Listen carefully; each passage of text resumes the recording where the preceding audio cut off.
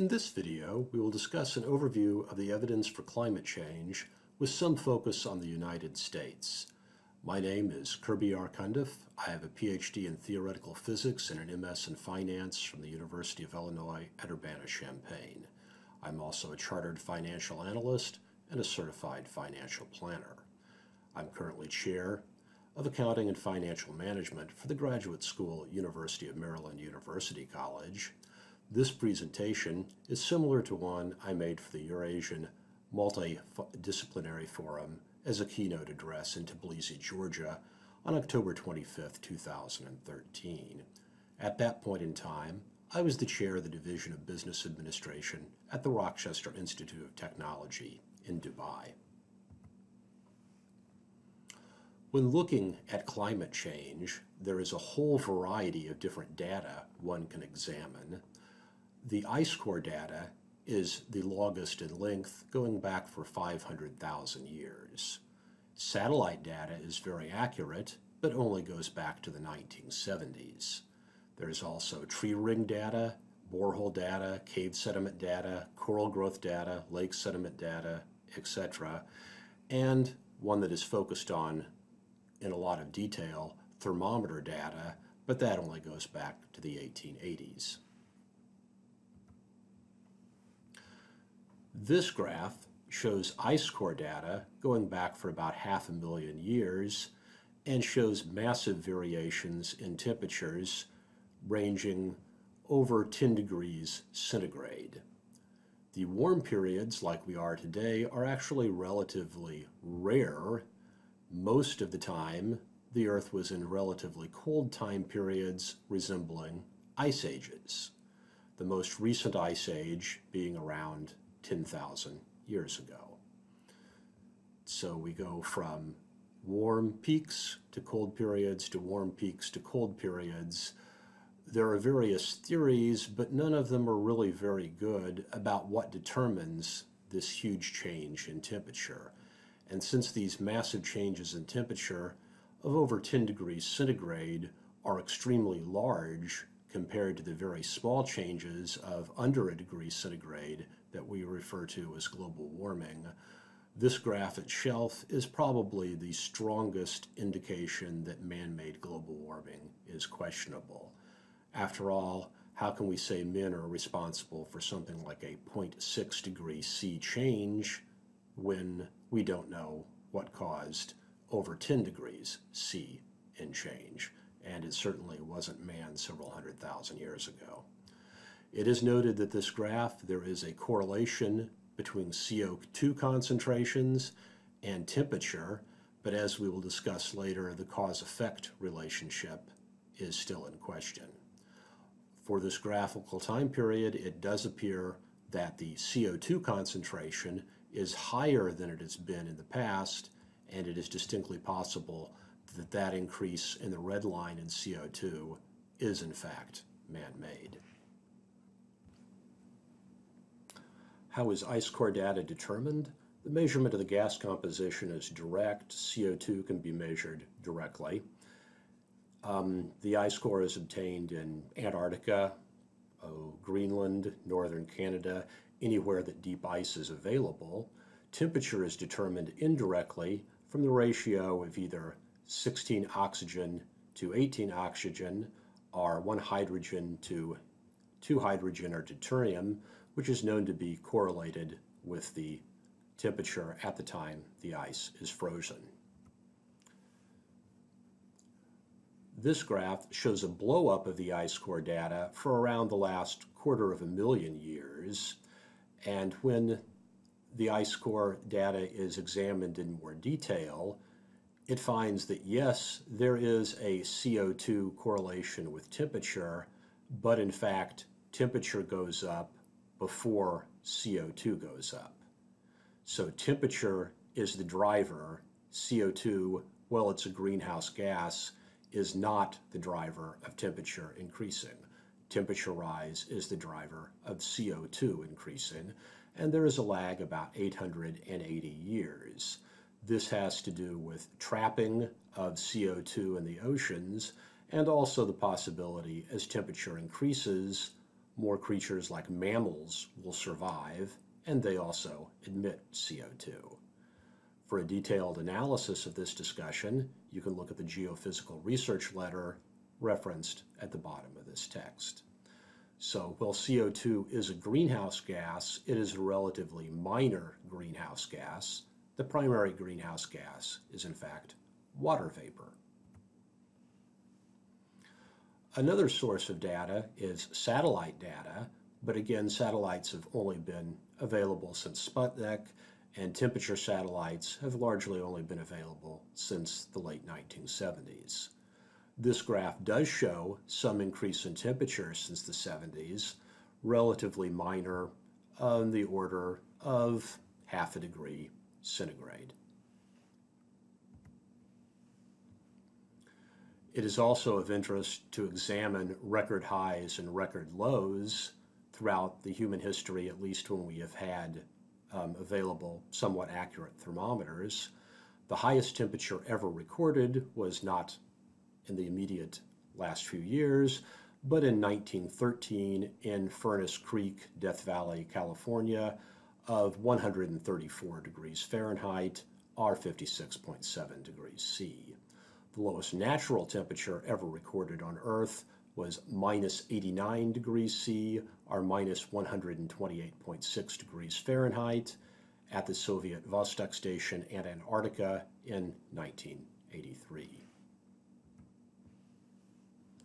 The temperature data, again, only goes back to the late 1880s.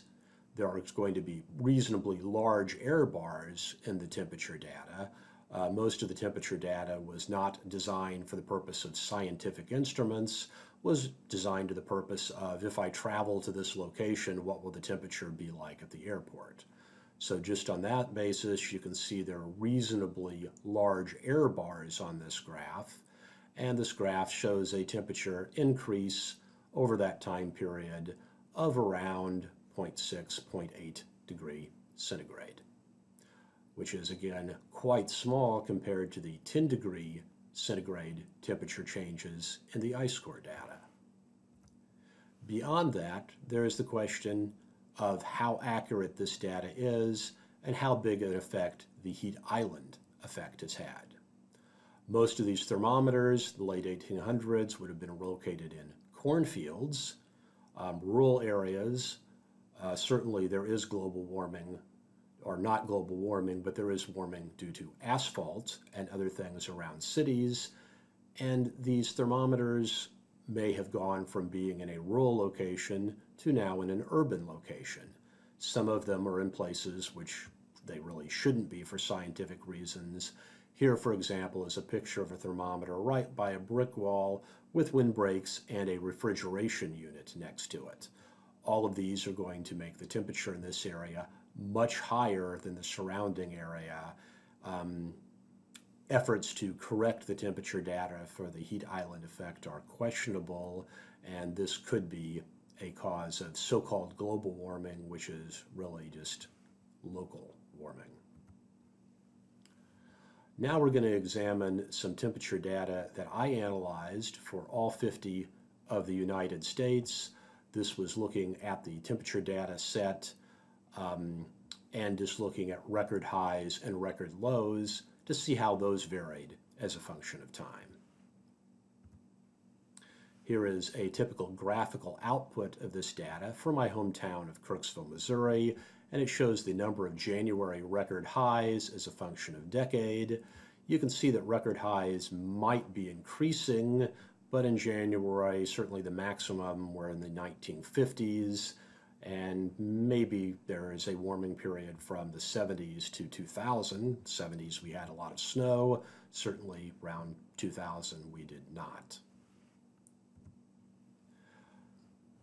The record highs, on the other hand, during the summer were all pretty much in the 1930s during the Great Depression and the Dust Bowl. And record high summers have been relatively rare since then in the 70s and 80s. I remember my father telling me about farmers in the 1930s having to cut down trees during the drought so the cows would survive and eat the leaves off the trees because there was nothing else available. Here is number of January record lows. Again, there haven't been a lot of record lows in recent years, and most of them here were in the 19s, or the peak of them was in the 1970s, so there could be an indication of perhaps warmer Januaries. Also, number of July record lows seems to have decreased in recent years. To analyze this data beyond graphical data, we use t-statistics, the standard approach of the social sciences. Um, we're going to look at the simple equation y equals mx plus b, where y is going to be the number of record high or low temperatures per decade, and x is the decade in which they took place. To see whether we have a statistically significant increase or decrease in record highs or lows, we will look at the number of record highs or lows minus the average over the standard error of those measurements. And if the change is much larger than the ability to measure that change, then we would say we have a statistically significant increase in the number of record highs or lows. On the other hand, if t is relatively small, then we would say there is no significant increase or decrease. Statistical significance is generally indicated for a t of around 1.96 for a large data set. So here is the list of our data for January and July for both record highs and record lows at locations randomly picked in each of the 50 states. The red points are above 1.96 and are considered statistically significant. The black points are T stats below 1.96. So you can see that if we look at record high increases in January and July, there do seem to be several of them, but it's not overwhelming. Record lows, the negative indicates a decrease in record lows, and we do seem to see an indication again of decreases in record lows, but not a ton of them. And the start date for the data ranges from the 1870s to, in some cases, 1920s.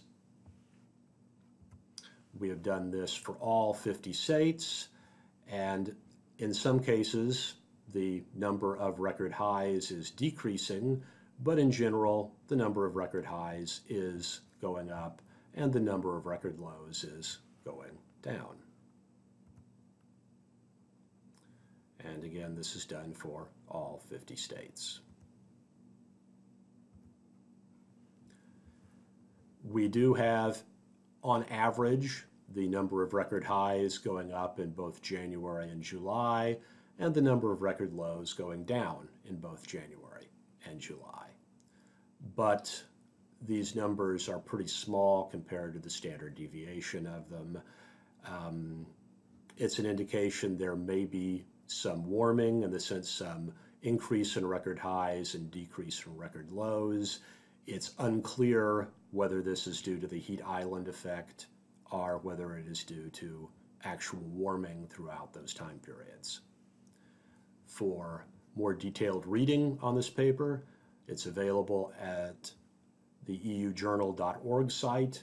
Uh, my name is Kirby Cundiff, published in 2013, entitled An Analysis of Climate Change in the United States using record high and record low temperature data in the European Scientific Journal. One of the competing theories to man-made global warming is that temperature changes in the Earth are caused by changes in solar activity, the sun being the major source of energy for the planet. This graph shows best daily maximum temperatures as a function of year, again from the 1800s to today, and also in red total solar irradiance, and attempts to correlate the two of them it seems to work reasonably well. And of course, solar activity might be a way of determining whether the Earth is in an ice age or not. None of this has been really conclusively proved one way or another. we will now proceed to examine some of the various uh, scandals and, I guess, dogmatic arguments on man-made global warming. Uh, the individual shown here is the chairman of the IPCC, the Intergovernmental Panel on Climate Change from 2002 to 2015. He has a PhD from North Carolina State University in industrial engineering and economics. Um, his attitude was global warming is sort of a religion. For me, the protection of the planet is more than a mission, it is a religion. And this is an attitude of many of the people who look at environmentalism almost as a religion and aren't really interested in examining the data. He was forced to resign due to a Me Too type sex scandal. The supporters of man-made global warming, the biggest one being the one we just mentioned, the United Nations Intergovernmental Panel on Climate Change. Also, of course, are politicians like Al Gore and scientists such as James Hansen from Columbia and NASA, Michael Mann at Penn State, and Phil Jones at the University of East Anglia and the United Kingdom. There are also many well-known global warming skeptics. Uh, John Christy is still active today at the University of Alabama. He was previously on the IPCC. Uh, the now deceased author Michael Crichton, uh, Freeman Dyson, who holds Einstein's chair at the Institute for Advanced Study in Princeton, uh, Nobel laureates in both physics and chemistry, um, Richard Lindzen at MIT, uh, Frederick Seitz, who used to be the president of the National Academy of Sciences. When I was a graduate student at the University of Illinois, I worked in the Frederick Seitz Research Laboratory. Fred Singer, the University of Virginia, Willie Soon at the Harvard Smithsonian Center, and the father of the U.S. hydrogen bomb, Ed Teller. Many of these people are now deceased, some are still alive and active. Edward Teller and Frederick Seitz were very active in questioning global warming, and this is a list of a petition that they collected of 31,487 American scientists that fall into the skeptical category on man-made global warming at this point in time, including over 9,000 PhDs in signature.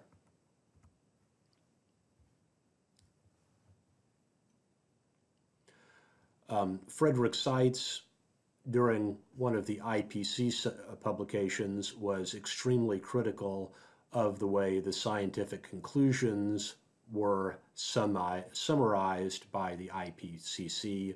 This is part of his publication in 1996 on a major deception on global warming in the Wall Street Journal.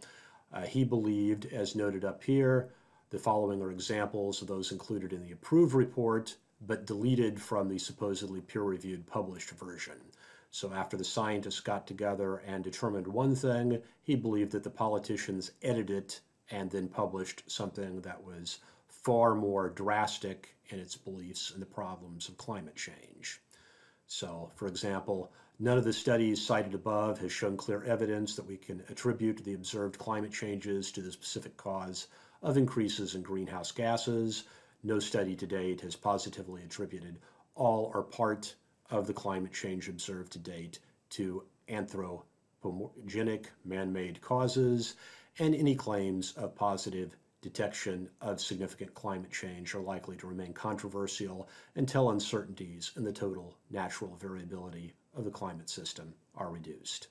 So these were the conclusions of the scientists, which were then edited for the final publication by the IPCC politicians. A more recent climate scandal, so-called Climate Gate, has to do with emails that were hacked, um, especially those of Phil Jones. So the most commonly quoted email in ClimateGate was, I've just completed Mike's nature trick of adding in the real temps to each series for the last 20 years i.e. from 1981 onwards, and from 1961 for Keith's To Hide the Decline. What they were referring to here is the so-called hockey stick graph published by Michael Mann, and you will note here we have data compiled from tree rings and all sorts of other different sources, I guess tree rings, corals, ice core, and historical records, and that is in blue, and then the temperature data from another data source is added at the end. So two different sources and the temperature data then make this huge increase in temperature shown in the last thousand years. Now, since there are tons of different sources of reconstructed data, again, boreholes, temperature rings, etc., you can actually get a whole variety of different temperature assumptions from this. Some of these could be due to the fact that um, the tree rings can be taken from different locations around the world. Some can be obviously these sorts of proxy data are simply not that accurate. Here is a, another effort looking at the data which does not show the hockey stick. You can see the hockey stick in red. Other people looking at the same sort of proxy data show different results in blue and show the fact that this time period here had much higher temperatures than the period today. And in fact, it shows decreases in temperature where the hockey stick data showed increases in temperature. Again, another analysis of the same data showing the medieval warming period, the Little Ice Age, and then questions about whether you have a temperature increase or a temperature decrease related to the proxy data.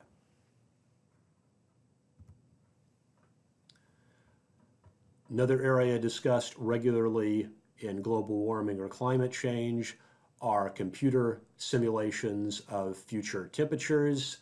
As you can see from this, the model runs can get drastically different results. Um, I did similar research on opacity, but applied to the sun, not the earth.